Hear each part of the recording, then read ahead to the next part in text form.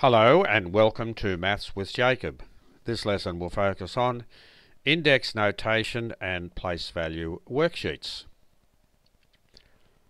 So this video presents some worksheets on index notation and place value. We've had a lesson on this topic so if you're not sure how to proceed on the last slide there is a link. If you click on the link it will take you to the lesson and it will explain how to do all the examples. I'll leave this little slide here on for a short while, but you can pause it for as long as you like.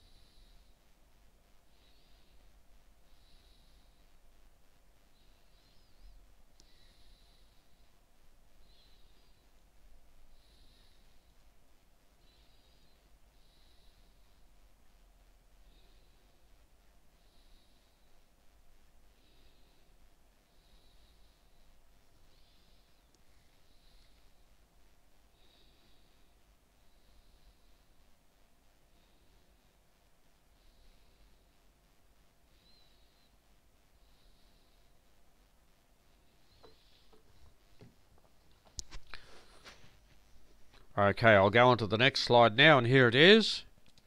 I'll leave it on for a short while, but by all means pause it for as long as you want.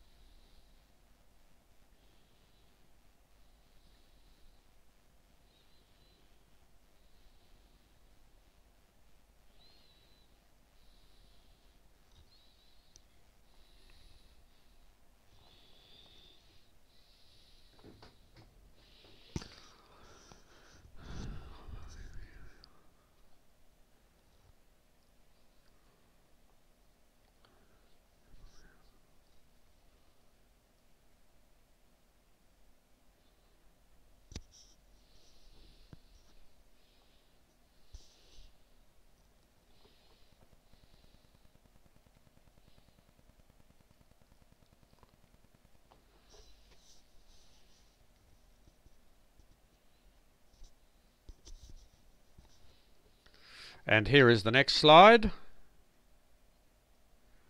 By all means pause it for as long as you like. I'll just leave it on for a short time.